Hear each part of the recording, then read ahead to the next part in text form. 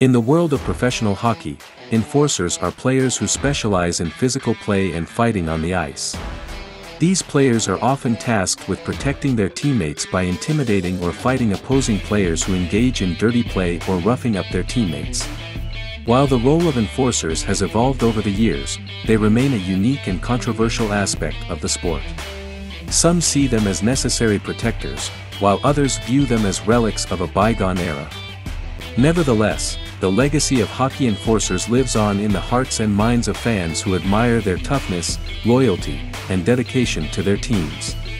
Welcome to Smoke and Ice, the show where we take a deep dive into the world of enforcers and explore the legends of the game.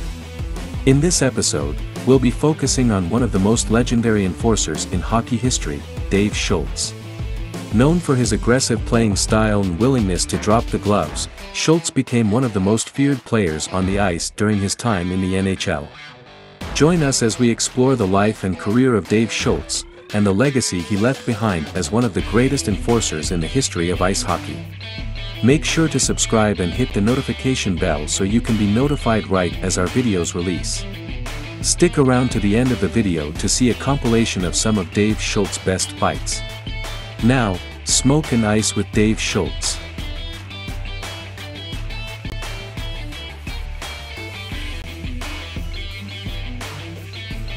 Dave Schultz is a former professional hockey player who played in the National Hockey League and is widely regarded as one of the toughest players in the history of the sport.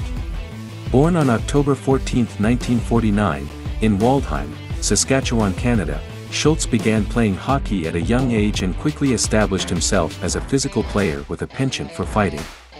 Dave Schultz began his professional hockey career in the National Hockey League with the Philadelphia Flyers in 1971. Schultz quickly gained a reputation as an enforcer, a player who is willing to fight to protect their teammates and intimidate their opponents. Schultz's aggressive playing style and his willingness to drop the gloves made him one of the most feared players in the NHL. During his rookie season, Schultz made a huge impact on the league and set a record that still stands today. He accumulated an astonishing 472 penalty minutes in a single season, which was the highest ever recorded in the NHL. This record was not just a result of his fighting but also due to his physical style of play, which often led to him being penalized for roughing and unsportsmanlike conduct. Schultz's record-breaking rookie season solidified his reputation as one of the most feared and intimidating players in the NHL. Opposing players would often avoid confrontations with him on the ice, knowing that he was not afraid to throw punches and defend his teammates. His enforcer role was a key part of the Philadelphia Flyers' success in the 1970s, helping them win two Stanley Cup championships in 1974 and 1975. His intimidating presence on the ice and willingness to defend his teammates made him a fan favorite in Philadelphia. However, Schultz's reputation as a fighter also made him a target for opposing players, and he frequently found himself in altercations on the ice. In 1976, Dave Schultz was traded from the Philadelphia Flyers to the Los Angeles Kings.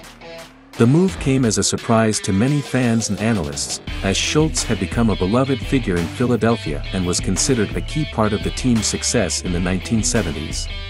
Nonetheless, Schultz continued his career with the Kings and quickly established himself as a physical force on the ice. During his time with the Kings, Schultz's role as an enforcer remained unchanged, and he continued to rack up penalty minutes while also contributing offensively. In the 1977-78 season, Schultz set a career high in points with 20 goals and 24 assists. Despite his solid play, the Kings struggled as a team and failed to make the playoffs in any of Schultz's three seasons with the team. In 1978, Schultz was traded again, this time to the Pittsburgh Penguins. The move reunited him with his former Flyers teammate, Bobby Clarke, who had taken over as general manager of the Penguins. Schultz played one season in Pittsburgh, appearing in 45 games and accumulating 178 penalty minutes. However, he struggled with injuries and saw his role on the team diminish as the season wore on. After the 1979-80 season, Schultz was traded once again, this time to the Buffalo Sabres. He played in 21 games for the Sabres, recording just one assist and 31 penalty minutes, before retiring from professional hockey at the age of 31. Although his career ended somewhat unceremoniously, Schultz's impact on the NHL as an enforcer and physical presence on the ice cannot be overstated.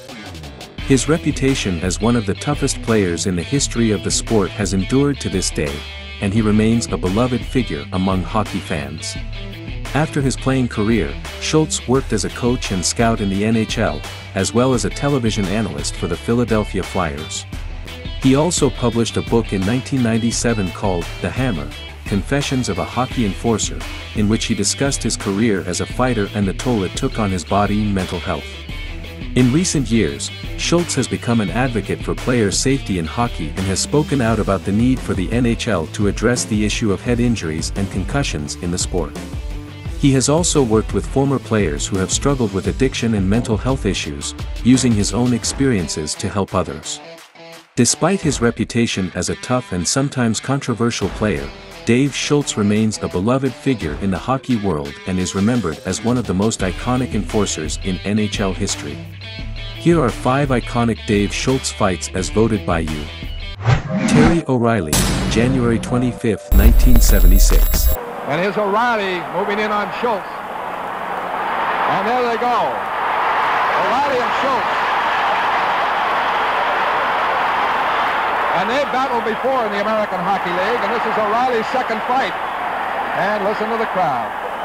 As Dupont and Forbes are squared away. And O'Reilly now holding on as he had the early going, and Schultz wants to get started here. and O'Reilly is... We've had some real heavyweight goals. O'Reilly and Schultz.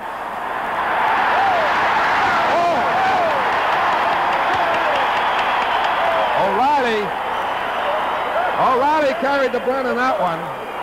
Now Schultz ready to go again, and O'Reilly wants to rest and divide the fight in the rounds. Listen to the applause for Dale Rolfe, May 5th, 1974. Come the sticks. And here's Schultz and Rolfe. Schultz cut the gloves off and landed one on Rolfe before he got set. Rolfe and Dave Schultz, the main event here. Schultz lands two or three punches. Rolfe trying to pin him against the glass. They're all alone as the linesmen have everybody else separated. Now Schultz has a grip on Rolfe's hair. Schultz still throwing punches, and Dale Rolfe getting the worst of this as he tries to hold on. And Schultz landed several there before Matt Pavelich finally got in between them. Now John D'Amico, the other linesman, has Schultz pinned against the crossbar. Tiger Williams, April 22, 1976. Now Clarke really slashed by Dave Williams. And Dave Schultz grabs a hold of Williams. Kelly has a hold of Dave Dunn, and here we go. Schultz trying to get that helmet loose on Williams, pumping the right hand in. And now a couple of crushing rights. Williams can't get loose. Dunn has a hold of Kelly. Kelly takes a couple of right hands off the top of the head. And now Clarke has, I mean, Schultz has uh, Williams into the glass, trying to get that right hand free. Dunn, meanwhile, is really hammering the hound. The linesman let Schultz and Williams go at it. Schultz has his right hand free, coming around with roundhouse rights. The linesmen have Dunn and Kelly pried apart as Kelly clearly was given a lesson by Dave Dunn, much the taller of the two. Schultz and Williams continue at it across the way, and uh, Gene took it up. I think both of them are right happy right now that, that the linesman would come over and separate them. Those arms become awfully tired after going. Clark Gillies, January 9, 1975. Gillies with Schultz.